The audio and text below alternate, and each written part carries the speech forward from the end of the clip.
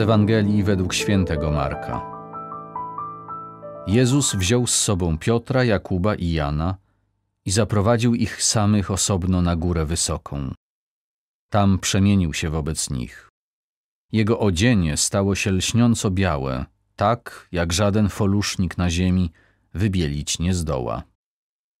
I ukazał się im Eliasz z Mojżeszem, którzy rozmawiali z Jezusem. Wtedy Piotr rzekł do Jezusa: Rabbi, dobrze, że tu jesteśmy. Postawimy trzy namioty: jeden dla ciebie, jeden dla Mojżesza i jeden dla Eliasza. Nie wiedział bowiem, co należy mówić. Tak byli przestraszeni.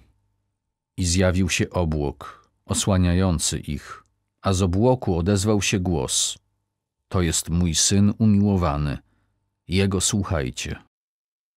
I zaraz potem, gdy się rozejrzeli, nikogo już nie widzieli przy sobie, tylko samego Jezusa. A gdy schodzili z góry, przykazał im, aby nikomu nie rozpowiadali o tym, co widzieli, zanim Syn Człowieczy nie powstanie z martwych. Zachowali to polecenie, rozprawiając tylko między sobą, co znaczy powstać z martwych.